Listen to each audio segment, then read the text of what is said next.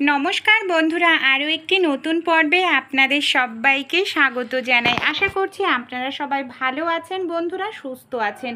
আজকে আমি আপনাদের সঙ্গে এমন কিছু ছোট ছোট টিপস শেয়ার করব, যে টিপসগুলি আমাদের প্রত্যেক দিনের কাজকে অনেকটাই সহজ করে দেবে। চলুন তাহলে আমরা টিপসগুলি দেখে নিই। প্রথম যে টিপসটি শেয়ার করছি, রুটি তৈরি করার জন্য ব্যালন চাকে আমরা প্রত্যেকেই ব্যবহার করি। অনেকেই আছে ব্যালন চাকে হয়তো ধুই না, এইভাবে রেখে দিই রুটি করার পর। কিন্তু এইভাবে রেখে দিলে দেখা যায় রাত্রিবেলায় ইঁদুর, আরশলা, টিকটিকি এই ব্যালন চাকের মধ্যে যে আটা লেগে থাকে না, সেগুলো খাওয়ার জন্য এর মধ্যে মুখ দেয়। এমনকি পরের দিন হয়তো না ধুয়ে এটা দিয়ে আমরা রুটি করি। সেই রুটি খেয়ে খুব সহজেই কিন্তু আমরা অসুস্থ হয়ে পড়ি। তাই ব্যালন চাকিতে রুটি করার পর আমাদের বাড়িতে যে এই ধরনের পলিথিনগুলো থাকে না, এই ধরনের পলিথিনের মধ্যে যদি আমরা ব্যালন চাকিটাকে ঢুকিয়ে রাখতে পারি, তাহলে কিন্তু কোনো রকম আরশলা, ইঁদুর, টিকটিকি ব্যালন চাকিতে মুখ দিতে পারবে না। এমনকি পরের দিন যখন আমরা রুটি তৈরি করব, ব্যালন চাকিটা ধোয়ারও প্রয়োজন নেই, কারণ ব্যালন চাকিটা একেবারেই পরিষ্কার রয়েছে, ধুলো ধুলো মাটিও কিন্তু ব্যালন চাকিতে লাগবে না। এইভাবে যে কোনো জায়গায় আপনারা রেখে দিতে পারেন। ছোট্ট টিপসটি যদি আপনাদের ভালো লেগে থাকে বন্ধুরা, অবশ্যই অ্যাপ্লাই করে দেখবেন। চলুন তাহলে পরের টিপসটি আমরা দেখে নিই। আমাদের বাড়ির কোনো না কোনো সদস্য অবশ্যই তো চশমা ব্যবহার করে থাকে। কিন্তু চশমা পরে যখন রাস্তাঘাটে যাওয়া হয় না, চশমার মধ্যে ধুলো, ময়লা, বালি লেগে যায়, সেক্ষেত্রে আপনারা যদি সপ্তাহে দু তিন দিন এক থেকে দু ফোঁটা একটু লেবুর রস দিয়ে তারপর আঙুলের সাহায্যে এইভাবে একটু ডলে নেন আলতো করে। তারপর তুলো কিংবা পরিষ্কার কোনো কাপড় দিয়ে চশমাটাকে পরিষ্কার করে নেবেন। দেখবেন আপনাদের চশমার কাজটা একেবারে নতুনের মতো চকচকে থাকবে। এটা আমি বলছি না বন্ধুরা, আপনারা নিজেরা ট্রাই করে দেখবেন, আপনারা নিজেরাই কিন্তু অবাক হয়ে যাবেন। কিন্তু লেবুর রস কাচের জিনিস পরিষ্কার করতে দারুণ সাহায্য করে। রেজাল্ট আপনারা দেখতেই পাচ্ছেন, ভালো লাগলে অ্যাপ্লাই করবেন। চলুন পরের টিপসটি আমরা দেখে নিই। বন্ধুরা, আমরা কোথাও যখন ঘুরতে যাই, অবশ্যই ছেলে লোকেরা তো এরকম রেজার কিন্তু নিয়েই যায়। কিন্তু রেজার ব্যাগের মধ্যে নিয়ে গেলে অনেক সময় ব্যাগে থাকা জিনিসপত্র নষ্ট হয়ে যায় রেজারের ধারে, কিংবা ব্যাগ থেকে আমরা কিছু বের করতে গেলে অনেক সময় দেখা যায় আমাদের হাতও কেটে যায়। তাই এটাকে কীভাবে নিয়ে গেলে সেফভাবে আমরা নিয়ে যেতে পারব? এর জন্য দেখুন, আমি নিয়ে নিয়েছি কিছুটা পরিমাণ ফয়েল পেপার রেজারটাকে এইভাবে রেজারের যে অংশ দিয়ে কাটা হয়, সেই জায়গাটা এইভাবে ফয়েল পেপার না খুব ভালো করে দেখুন, মুড়ে লাগিয়ে দিতে হবে। এইভাবে ফয়েল পেপার যদি আমরা লাগিয়ে দিই বন্ধুরা, তাহলে কিন্তু খুব সহজেই আমরা ব্যাগে ক্যারি করতে পারব। কারণ এটা ব্যাগে রাখলে ব্যাগে থাকা জিনিসপত্র নষ্ট হবে না, এমনকি ব্যাগ থেকে কিছু বের করতে গেলে আমাদের হাতও বন্ধুরা কাটবে না। পরের যে টিপসটি আমরা যখন বাজার থেকে এই ধরনের জিরে, ধনে যে কোনো মশলা কিনে নিয়ে আসি, অবশ্যই যে কাজটি করা উচিত। আমরা অনেকেই যে কাজটি করি না বন্ধুরা, দেখা যায় বাজার থেকে এনেই কিন্তু ডাইরেক্ট আমরা রান্না করি। কারণ এই মশলার মধ্যে থাকে প্রচুর পরিমাণে মাটি, রং, এমনকি ছোট ছোট পাথর। এর ফলে অনেক সময় রান্না করলে দেখা যায় আমাদের তরকারিটা না কিচকিচ করতে থাকে, একেবারেই ভালো লাগে না। তাই ছোট্ট এই কাজটি করবেন। বাজার থেকে যখনই আপনারা এই ধরনের গোটা মশলা কিনে আনবেন। খুব ভালো করে জল দিয়ে বন্ধুরা এক থেকে দুবার কিংবা তিনবার এইভাবে জল দিয়ে ধুয়ে নেবেন। জল দিয়ে ধোয়ার পর কি করব দেখুন, এখানে যে আমাদের আটা চালনিগুলো থাকে, আটা চালনির ওপর আমি এইভাবে দিয়ে দিলাম। এবার এটাকে কি করব, খুব ভালো করে আমি জলটাকে এইভাবে ছেঁকে নিচ্ছি। আমি কিন্তু তিনবার ধুয়ে নিয়েছি বন্ধুরা, এর ফলে যতটা মাটি কিংবা নোংরা পাথর ছিল, খুব সহজেই জলে বের হয়ে গেছে আর মশলাটা আমাদের একেবারে পরিষ্কার হয়ে গেছে। এবার আমি পাঁচ মিনিট মতো রেখে দিয়েছিলাম যাতে জলটা ঝরে যায়। তারপর এটাকে আমরা কীভাবে শুকিয়ে নেব চলুন তাহলে দেখে নিই। এখানে আপনারা কোনো কাপড় নিয়ে নিতে পারেন কিংবা এরকমভাবে যে নিউজ পেপার থাকে, সেই নিউজ পেপারের ওপর আপনারা মশলাটাকে এইভাবে ঢেলে দেবেন। ঢেলে দেওয়ার পর ছড়িয়ে দেবেন এক ঘণ্টা রোদ্রে দিলেই কিন্তু মশলাটা আপনাদের একেবারে শুকনো হয়ে যাবে, এমনকি তরকারি রান্না করলে এই মশলার তরকারি কিন্তু খেতেও দারুণ লাগবে, কিচকিচ করবে না, মাটিও কাদা থাকবে না। চলুন পরের টিপসটি আমরা দেখে নিই। মোমবাতি আমরা প্রত্যেকেই ধরিয়ে থাকি ঠাকুর ঘরে কিংবা নানা রকম দরকারের কাজে যখন মেঝেতে বা যে কোনো জায়গায় মোমবাতি ধরাই না। মোমটা গলে গলে এইভাবে নিচে পড়ে, এমনকি এই মোম পরিষ্কার করতে আমাদের অনেকটা সময় লাগে, ঘষতে লাগে।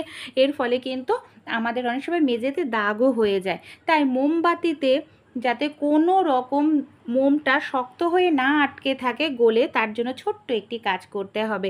মোমবাতি যেখানে আমরা জ্বালাবো, তার আগে এক ফোঁটা এখানে তেল দিয়ে নেবেন।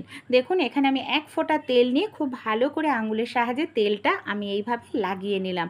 এবার আমি দেখুন, মোমবাতিটা এই তেলের ওপরে এইভাবে জ্বালাচ্ছি। এবার যে মোমটা গলে গলে বন্ধুরা নিচে পড়ছে না, এই গলা মোমটা কিন্তু তেলের কারণে কখনোই সেই ফ্লোরে হোক বা যে কোনো জায়গা শক্ত হয়ে আটকে থাকবে না। দেখুন, মোমটা কত সহজেই এটা কিন্তু আমরা পরিষ্কার করতে পারব, কোনো রকম ঘষাঘষি করার প্রয়োজনই পড়বে না।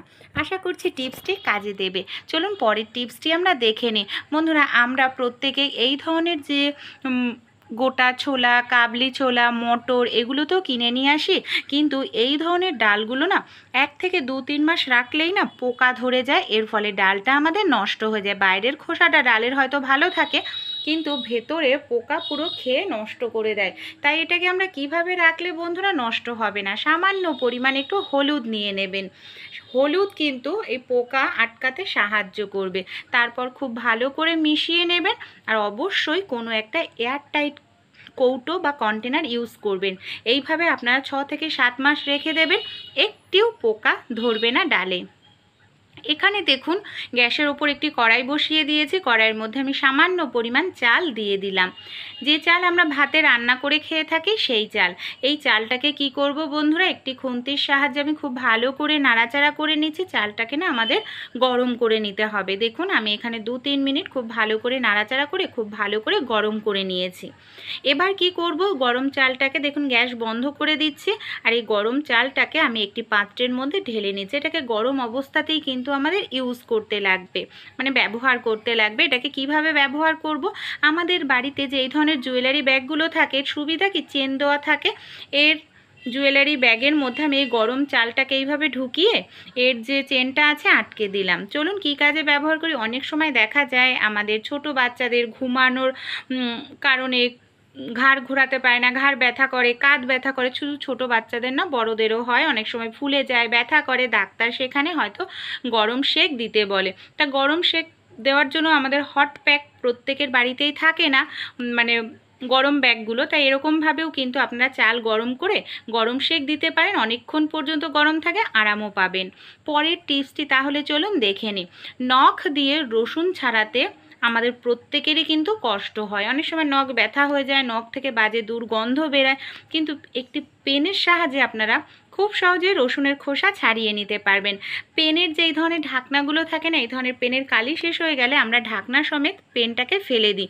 কিন্তু পেনের এই যে ঢাকনাগুলো দিয়ে দেখুন, রসুনের যে মাথাটা আছে একটুভাবে এইভাবে আলগা করে নেবেন আর দেখবেন খুব সহজেই আপনারা কিন্তু রসুনের খোসাটা বন্ধুরা এইভাবে ছাড়িয়ে নিতে পারবেন। আর এইভাবে যদি রসুনের খোসা ছাড়ান তাহলে কিন্তু আপনাদের নখ ব্যবহার করতেও লাগবে না।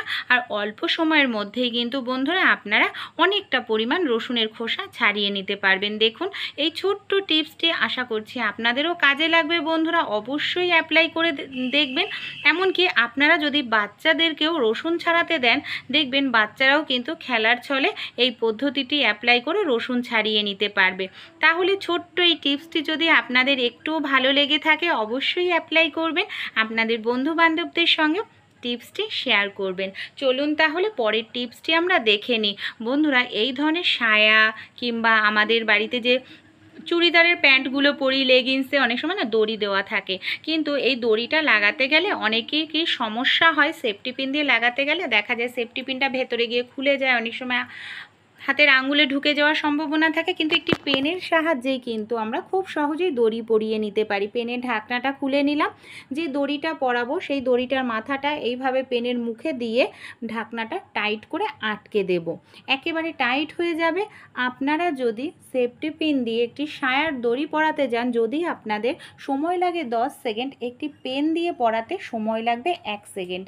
দেখুন কত সহজেই আমি পেন দিয়েই কিন্তু এই দড়িটা পরিয়ে নিচ্ছি। আর কোনো রকম দড়িটা খুলে যাওয়ারও সম্ভাবনা নেই, এমনকি হাতে আমাদের যেমন সেফটি পিন অনেক সময় ঢুকে যায়, সেরকমও সম্ভাবনা নেই। কত সহজেই আমরা দড়িটা পরিয়ে নিতে পারলাম। তাহলে এই ছোটো ছোটো টিপসগুলি যদি আপনাদের উপকারে এসে থাকে, অবশ্যই একটি লাইক করবেন আর আমাকে সাপোর্ট করে আমার পাশে থাকবেন।